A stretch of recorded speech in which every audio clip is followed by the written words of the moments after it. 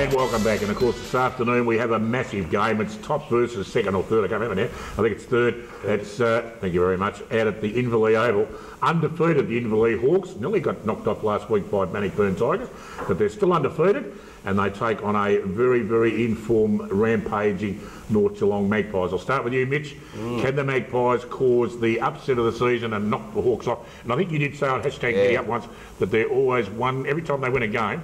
They're that closer to losing one. So much closer to losing a game when you win. Each win you have, you're closer to a loss. Got no idea But anyway, well, that you know, just means every day you live, you're closer to dying. That's what it means, Dick. But uh, Oh, yeah. I do believe that, that- and I don't think it'll be an upset. I do believe that North Geelong can win out there today because uh, you know there were some signs last week. I thought uh, with Inverleigh, although they had a lot of players out and they did a mighty job to beat Bannockburn on their home ground. Probably people think I'm, I'm silly to tip uh, North Geelong today out at Inverleigh, but I think the ground will suit North Geelong. I really do think if they are going to be genuine contenders for the flag, North Geelong need to win today. They've had a couple of injuries, uh, their form's been up and down, but if they can't rise to the occasion today, they never will. So I'm going to tip North Geelong in a thriller. Grubby North Geelong, two losses so far. One was against Thomson, a little bit of a surprise to a lot of people, but not to me because it was Thomson that was uh, dead level with Inverleigh the week before. But they certainly were found wanting against the Bell Post Hill unit a couple of weeks ago out at Bell Post Hill. Are they good enough to beat this top side? Oh, there's no doubt they're good enough because they've been one of the best sides for the last couple of years. But that game really worried me out at Bell Post Hill. Although Mitch has got spot on with the ground, the ground was a lot bigger up there. But I, I just worry. I've seen both sides in two weeks. North Geelong didn't impress me, obviously, two weeks ago. Inverleigh did last Saturday. They had uh, Hybens out, Grundle out, Anderson out, Seed out, and they went out to Bannockburn and won the game.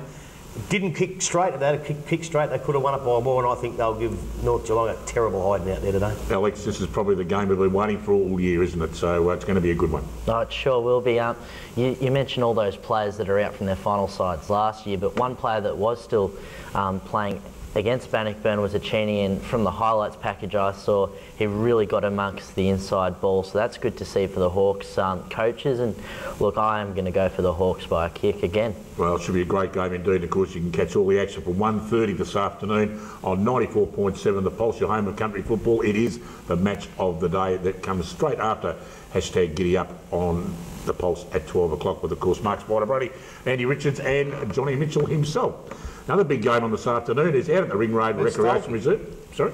Let's Stolky. Oh, Stol- sorry, Stolky. Okay, Jason. Jason has a, geez, I'll get knocked off here, won't we? Um, out at the Ring Road Recreation Reserve, the Bell Post Hill Panthers, well, they take on the Belmont Lions. Um, I'll start with you, Alex. I don't know whether Belmont Lions, even though they're playing okay, I don't know if they can beat this mob out there. Yeah, well, I say it every year. These are my two favourite sides in the comp, and as much as I, I was proven wrong with Belmont um, against Thomson, I do think uh, Bell Post Hill will definitely get the chocolates today, Dick. Grubby. Yeah, they're starting to look the goods Bell Post. They were struggling a little bit early with injuries, but they're look- looking the goods. It depends which Thomson turns up to. If it's the Thomson that played Werribee Centrals two weeks ago, they get beat by 20. And if it's the Thomson that turned up, uh, the, sorry, the Belmont that turned up against Thomson last week, they get beat by five. we're worried then. Jeez, I thought we were going to have to play them got the three wrong- times this year. No, no. So, Thank goodness for that. depends which one turns up anyway. Well, that'll be Belmont, I hope. Yeah, well, I hope it is. I hope we're not going there. Well, they played, did they, who did they play last week? Thomson. Thomson played Thomson Belmont. played Belmont. Well, if they play what they did against them, Yeah. they'll get beat by eight.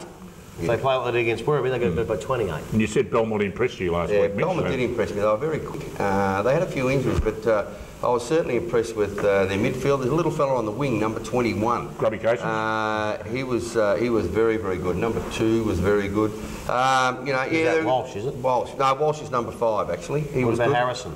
Uh, what number's he? He might be two, is he? McCarthy. Yeah, Harrison. He He's very a good, good kid. good, good player, and uh, and number 21. Yeah, that, look, they were they were very quick. Uh, I'm sure that the Bell Post Hill ground will suit those players, but uh, look, you've got to give it to Bell Post Hill. The uh, the caravan keeps rolling on, and they're getting better and better. So, in a good game today, I think Bell Post Hill will win at home. You said they were gone last week. I didn't, say- I didn't say they were gone. They, they haven't played. It's a grand final over, Grubby. It's a grand final over. That's what I said to you. Eh? East Geelong, they struggle against the Magpies out of the Creek Barclay Oval last Saturday. and they come up against the Werribee Central's Footy Club. Grubby, your mob, um, well, to say they're desperate to get their form back would be an understatement. Well, I don't know whether it's form or not. You obviously, ex- well, you obviously expect to play Bell Post Hill and get a belt. You obviously Absolutely. do that. I agree. I obviously expected them to get beat the week before at Belmont, and they won. So uh, it depends. Like Buddy's playing all right. I think Montebruno's out again. I'm not sure, but you know, East Geelong, they're not going that well either. They, they, they look like they were going to come good, then they got belted themselves last week. So in the end, I've got no idea who'll win it, but being a Werribee boy, I'm going to go for Werribee, obviously. Mitch, Uh, look, I'm going to go for East Geelong for, for no other reason that Montebruno is out, uh, Grubby, and uh, you know th- those two buddy boys uh, are very, very good. But, th- but I think Werribee Centrals needs Montebruno as well. Uh, East, they're struggling. There's no doubt about that. So toss of the coin, East Geelong because of their home ground. do you agree with that? Alex? Yeah, I'll go with the home ground advantage, but this is a must-win for Werribee, I believe, and I'm going to keep it at that. Fair enough. Now to the Thomson Thunderdome. It's the Tommy Tigers taking on the Anakie Roos. Can you blokes continue on with your reasonably good comeback in the second part of the season, Mitch? Yeah, look, Thomson should win today, but, but for no other reason than it's at home. They were very, very disappointing last week, to be quite truthful. I thought that uh, uh, they, they come in a quarter time in front, uh, and I thought, well, this is going to be not a bad day, but uh, Belmont Lions just belted them. They, uh, they were too good for them all day, and uh, Thomson were very, very disappointing. They got a lot of injuries, but you can't use those, that as an excuse. So I'm only going for Thomson today because it's at home, and uh, Anakie haven't been travelling that well either. So, uh, yeah, Tommy Tigers at home today. Fair enough, Grubby. Gee, they're, they're a puzzle, Thomson, aren't they? They beat North Geelong one week and get beat by Belmont the next week. You don't know what they're going to do, but I think they'll be too good for Anakie today at, at Thomson. Gr- Alex. I was going to go for Anakie due to their probably better junior development, but looking back, coming to my senses, I'll go for the Tigers. Well, the Corio Devils, they uh, certainly can't get a win, no matter how much they try at the moment, and uh, they're out at Devils Playground this afternoon. They're taking on a pretty good Bannockburn outfit, and uh, start with you, Alex. I can't see Corio winning their first game today. Neither can I, but just on Bannockburn, my apologies for uh, Tommy Mullane Grant, who I accidentally called uh, Brad Watts when I saw him shopping. It, I think it was the beard factor, but Well look, done, Amwell. you know what? To make up for it, I'll pick Banno by 100 points. Grubby, Bannockburn too good. Uh, Bannockburn, and a very, very special hello to one of the most beautiful ladies in football in the GDFL. Who's that? I forget her name. I'm only joking. Lynn Robinson out at Bannockburn. She's a lovely, lovely lady. And now you've had your Cheerio, get out of bed and cook Gary's breakfast for him. will you? Say something, Mitch. Oh, look, I, Bannockburn, but Alex, uh, I wouldn't be, uh, I wouldn't be um, apologising to. Uh, if apologising to the wrong person, I'd be apologising to Brad Watts. But, Yeah, right, you're not wrong there. but no, no, they should win easily today, Bannockburn. They're going okay. All right, the last game is on tomorrow. It's out at the West Oval. It's the Geelong West Cheetahs taking on the Winchelsea Blues and uh, Grubby. It's uh, a game of two sides that uh, probably got a lot of strife at the moment. Well, I'll go for West, but my question is, where's Fano tonight, This morning, this morning? Where is he? I don't know, He's probably Janice cooked him oh, I can breakfast. tell you he's in hospital. Fano. Oh, we wish him all the best. He's, Yeah, having, no, a, he's going all he's right. having a gastroscopy and a colonoscopy. And for his sake, I hope they do the colonoscopy first if they use the same instrument. No, oh. That'll fix him. Oh, you had a brain scan once I didn't find anything. They're still looking. Yeah, I know. That, that's going to lose. I'm completely lost now. Alex, Geelong West to Winchelsea. Yeah, I'll go for West with Mark Hounslow and the boys. Mitch. West at home, uh, Dick, for me. Well, that takes care of all the games on this afternoon. Of course, tune to 94.7 The Pulse this afternoon for the big clash Inverleigh Hawks taking on the North Geelong Magpies.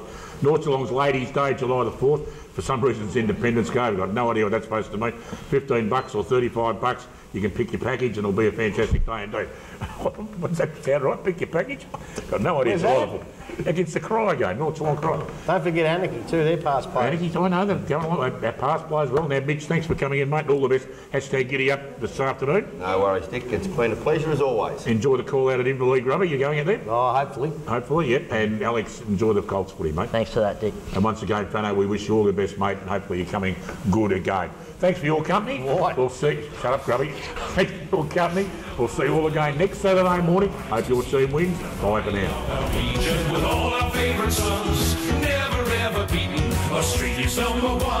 We'll get the goals, boys, right from the jump. If we use some handball and never shirk ball. So give it all your best as we answer to the call. Geelong in district football, the greatest league of all.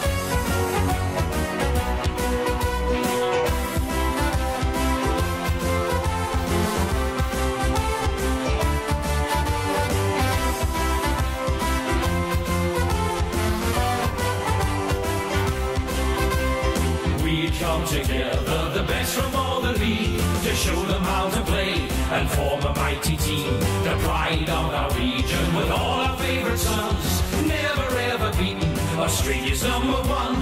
We'll get the goals, boys, right from the jump. If we use some handball and never shut the bum. So give it all your best as we answer to the call. Geelong in district football, the greatest league of all.